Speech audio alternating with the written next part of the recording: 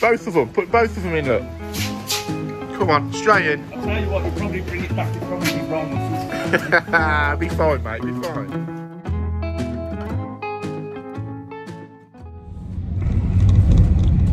Shower screen day. We all love shower screen days. For some reason, I just hate bloody shower screens. But when I start doing them, I don't mind them. Just the thought of going to do it and farting around with all these bits and you have to have loads of area to lay it out and anyway I've just picked it up from uh, Plumbase so heading over to this job where the, the builder basically washed their hands of the job. So the client they're only 18 month old these houses. So the clients had to get their own plumber in to take out the original shower screen it's just leaking from everywhere and uh, refit a new one. So I'm just heading over there now and we'll get the old one out and uh, see what's what, see what's going on with it. So this is the shower screen that's coming out. Um, basically the the company that built the house just haven't fitted it right or it's a crap screen but it's leaking from the bottom sill. The top isn't level. Um, it's just not great to be fair. So we're going to take this one out and refit a new one that's um, it's a bit more suitable for the job. Right, so we've got the profiles off.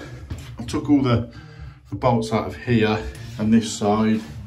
So in essence, the screen is now ready to come out. I just cut the, the silicon around the bottom and this door should come off and the side profile should come out and get it all cleaned up um, and see and see where we're at then. Get the other one out and, and lay it down and go from there.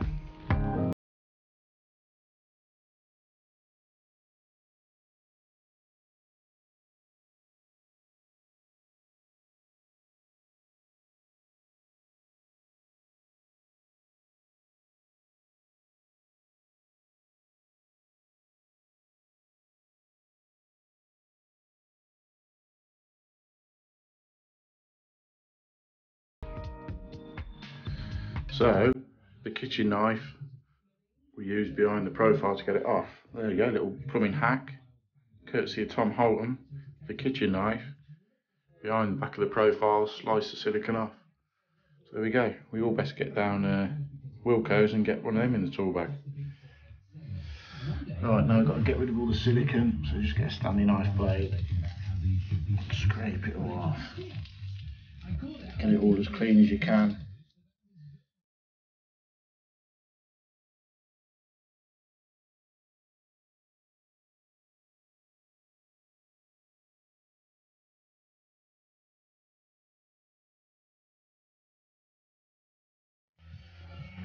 Hetty poking a little head around the corner.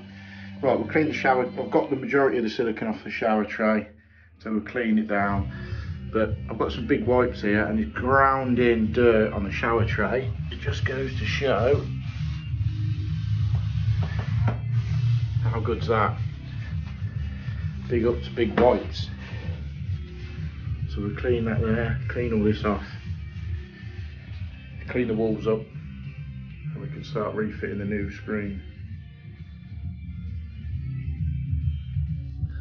So where the original screen's gone in and the profile, they haven't silicon behind that. So we're going to silicon behind there and silicon behind that one as well.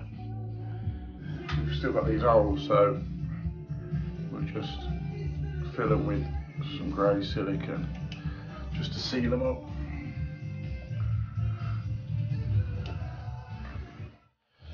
So I just put a bead of silicon down the inside of the profile. So now that profile will go up. And with the bead of silicon up it, it just keeps it watertight. So that's the profile fitted.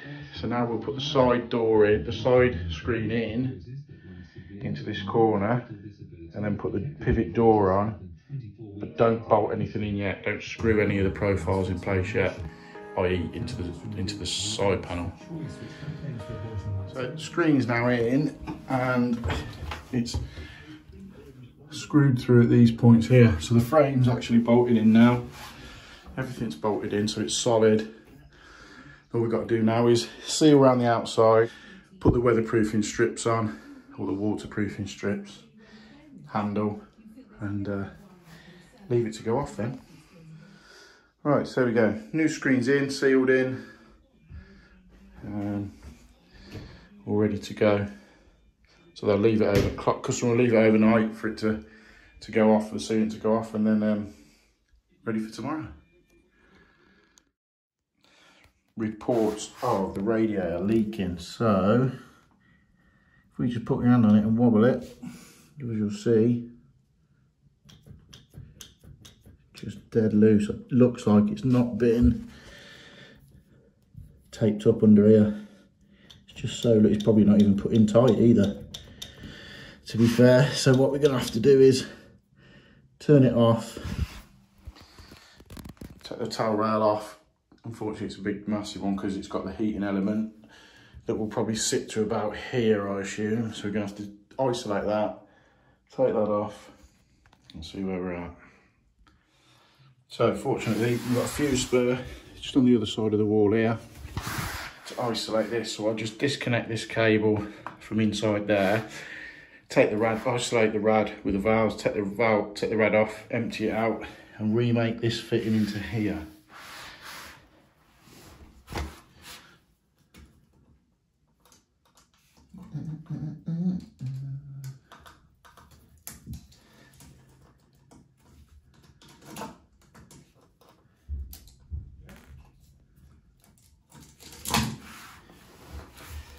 So we shut the rad off on the valves, open it up, and just drain it down here. Drain it into the bowl, open the air vent at the top, release the water, and whip the rad off, remake that.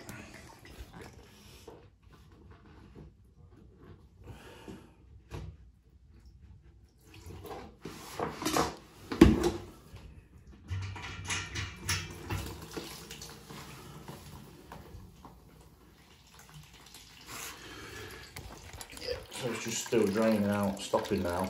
So then we'll just undo this valve, take the brackets off, lift the rad off, remake this fitting. We, we've got to take it off because it's got a heating element in there which is going to go up to here. So we can't unturn that off. Well, I suppose I could, I might be able to unturn it out, tape it up in situ and put it back in. Yeah, maybe I'll give that a go first off.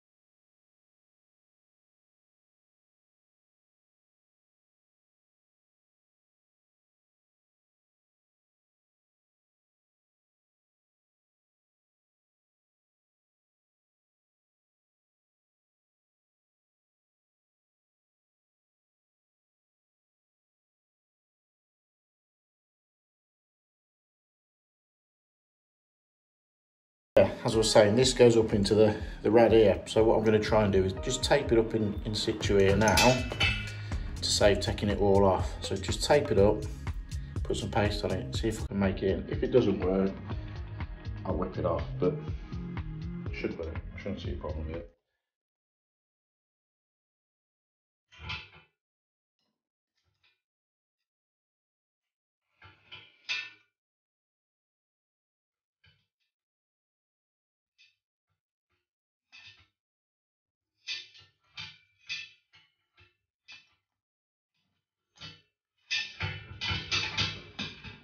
plenty of tape on there. Put some jointing paste on it.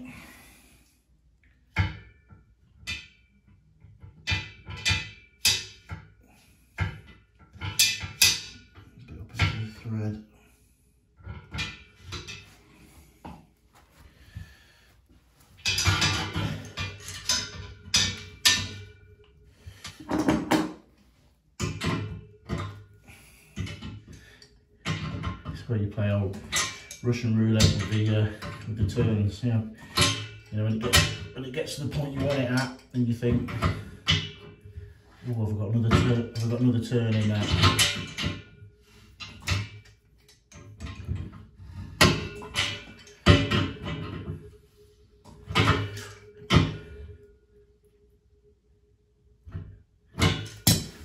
got it. Back up. Ah, that's loose. Some right off cowboys built these houses. Look, that's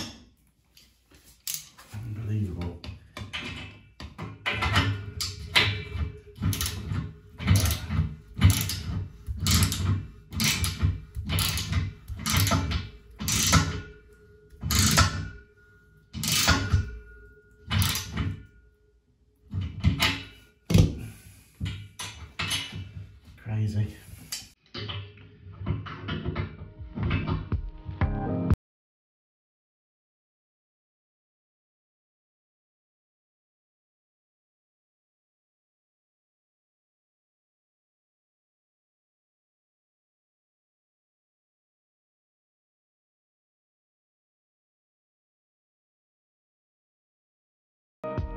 Yep, so red filled up.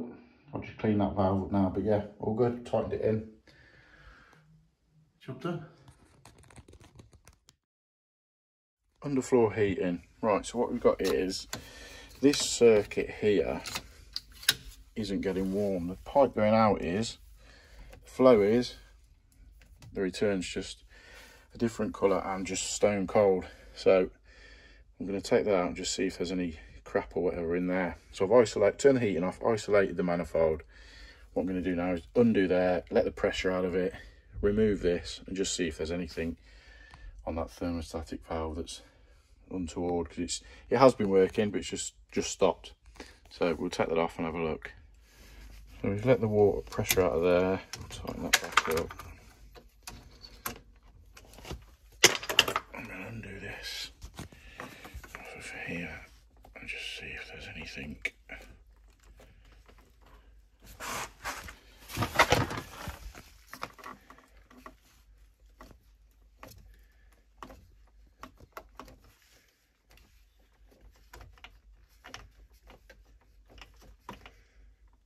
just seems quite tight in there. Whether the oh. right, maybe it's just not working, so it's just not lifting up. Give it a spray and see what's what.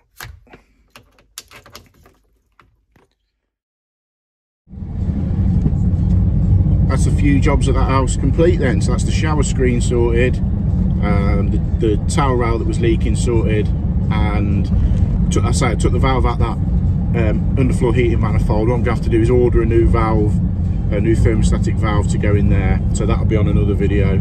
Uh, I'll probably do a whole breakdown about how to change a, a thermostatic valve inside an underfloor heating manifold. I think that's you know some of you might want to see that. But right thanks for watching. Um, hit the subscribe button hit the like button. Thanks for all your your feedback on my other videos and that. Plenty more to come. And i shall see you soon